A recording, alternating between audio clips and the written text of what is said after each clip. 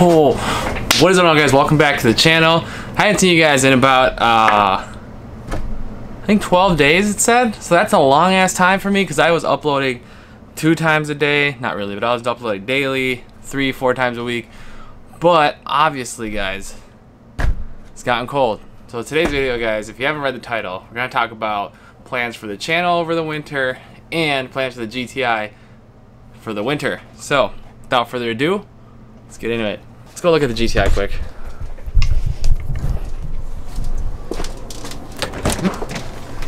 Whew.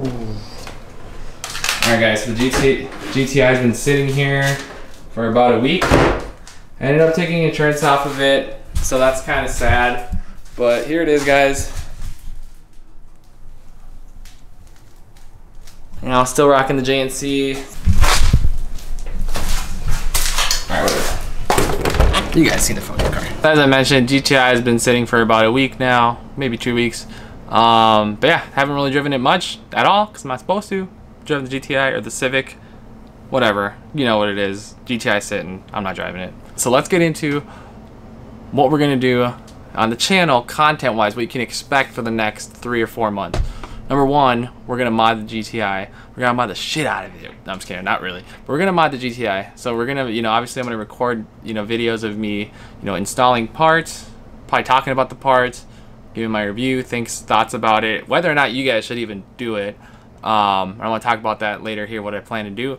But whether or not you guys should even spend the money doing stuff like that, and if you already have stuff and you know all about GTIs, well, we can, you know, see if we agree.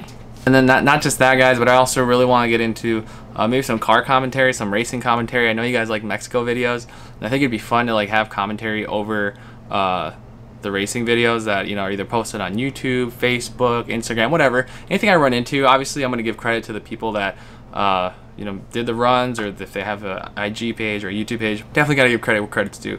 I don't like it when somebody uses my video and uh, doesn't give me credit. Drew Peacock, just kidding. no, but for real, like I actually was on a Drew Peacock video. He was doing that. He was doing commentary over runs, and I was like, bruh, he's not funny. Okay, he's kind of funny, but I didn't realize he was supposed to be trying to be funny. But I don't know. Anyway, I thought, you know what, that'd be kind of fun to do, so I'm gonna do that, and we're gonna do it, and we're gonna do it better, and we're gonna have better runs. So that's gonna, so we're gonna do that as well.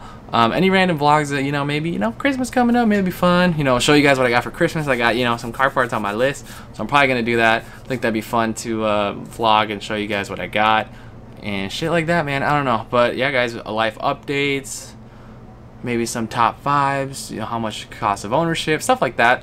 Um, I got a list of the stuff here that I kind of plan to do but definitely got to get a little more creative now that Mexico's pretty much over um, you know, maybe I'll get some run. You know, maybe I'll actually go out and I'll ride with somebody. I mean, it's been decent out.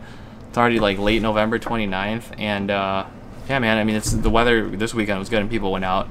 I didn't have insurance and my brakes are dead, so I'm not gonna do that. But yeah, that's kind of what the plans are for the for the content side. So number one, I want to get a center exit exhaust. I put it. I, I put a poll on my Instagram, and most people didn't like it, but it was kind of close. But a lot of people didn't like it. Some people did, so it's kind of like mixed, but I like it, so I'm gonna do it. I just wanted to see what people would think. Um, but essentially, we're gonna get the AliExpress rear diffuser. I don't even know where that ships from. It's like $80 shipping, bro. so anyway, it's got, you know, it's a nice rear diffuser. Got the two meant for center exit.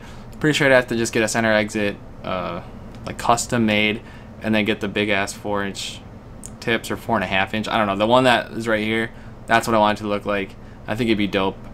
Might be a little weird I think it looks nice. And then I'm thinking about maybe switching out the JNC wheels. I know they look nice, but I think they're actually like they're so heavy, man. They're slowing me down. I don't know if they are, but they feel really heavy. So I'm thinking about switching them up, selling my OEMs, Austins, selling these, and then using that money to fund uh, some Enkei RPF1s.